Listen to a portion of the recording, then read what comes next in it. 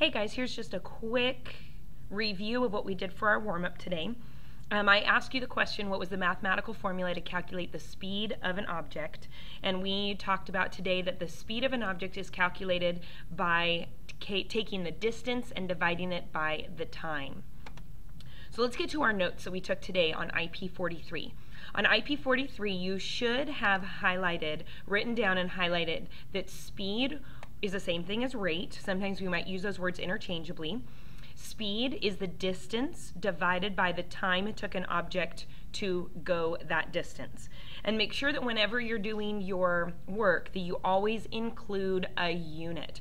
Pay attention to the units that are already in the problem so that you know what units to put in your answer, whether it's miles per hour or meters per second.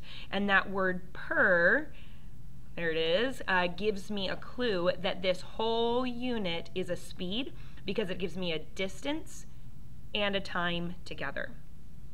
So here were the notes that we took today. Just a quick reminder, the DST triangle can help you manipulate the speed, distance, or time formulas.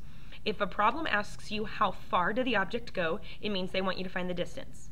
If a problem asks you how fast did the object go, it means they want you to find the speed.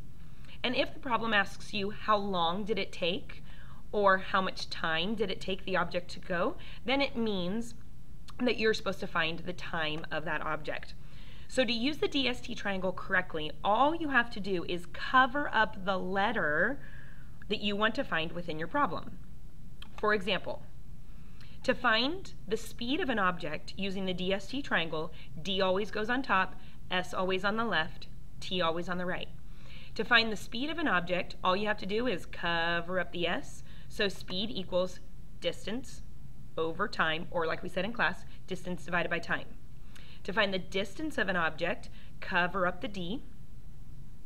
Distance would be speed times time because the speed and the time are not on top of each other. The S and the T are next to each other, and so in math that means multiply. If you want to find the time an object's traveled, how long did it take them, cover up the T. What you have left over is d over s, so the formula for time would be distance divided by speed. So here's the first problem, number one, on your homework for OP43. Lance Armstrong rode his bike for 25 hours without stopping. Before I move on, I have to recognize this number as a time. Clocks around, so we circle this. In that time, he went 400 miles. 400 miles is a distance, so I underline it, and won the race. What was his speed? Since they asked me for the speed, I cover up the S, and what I have left over is d over t. So I know that the problem needs to be set up like this. Speed equals distance divided by time. And again, forgive my handwriting because I'm doing this with my cursor.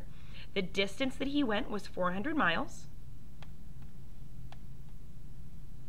divided by the time, 25 hours and I'm not including the unit just for the sake of time. If I show my work, which you're supposed to do, 400 divided by 25, 25 goes into 400 16 times, and now I have to go back to the unit. Miles per hour. You can write MPH. And here's your answer for number one. Numbers 2, 3, 4, 5, and 6 are pretty much the same as number one. But when you get to number seven, they're going to ask you for something different. Andrew drove from Las Vegas to Riverside in three hours. Three hours is a time, just on two separate lines, so I'm going to circle it. During this trip, he traveled at a constant speed of 90 miles per hour. I need to really look at this number. This number right here is a speed. I know because it has the word per in there. So I circle and underline it because it includes both distance and time. What is the distance? How far is it from Las Vegas to Riverside? This is actually a true story, by the way. So since they asked me for distance, I cover up the D. What I have left over is S next to the T, which means my formula for distance equals speed times time. And in math, you can use the dot instead of the multiply sign. So speed, his speed was 90 miles per hour times the time, which was three hours, nine times three, is 28. Add your zero. No, it's 27. 9 times 3. I totally had a brain fart.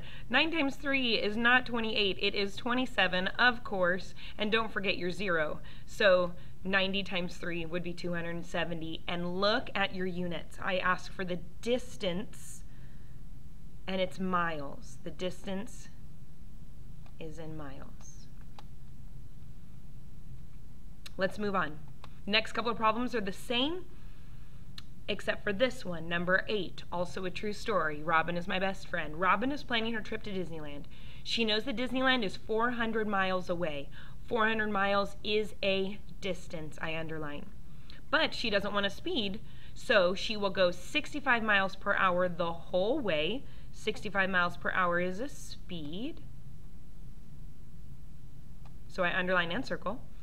How long did, will it take Robin to get to Disneyland? How long is a time? So I'm going to cover up the time.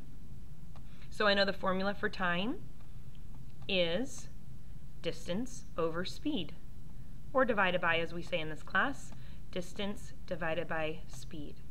So take a second to set up your own problem. Distance is 400. The unit, of course, is miles divided by 65 miles per hour. That's the speed. Show your work. If you show your work, we will find that Robin traveled for a certain time and her answer is in hours. And I want to know what you got for your answer. I'm not giving you the answer for this one. I just wanted to help you set it up. Email me if you have any additional questions, but if you use the DST triangle, you should be good. You should be able to figure it out. Check out your notes. Email me if you have any questions. I'll see you tomorrow.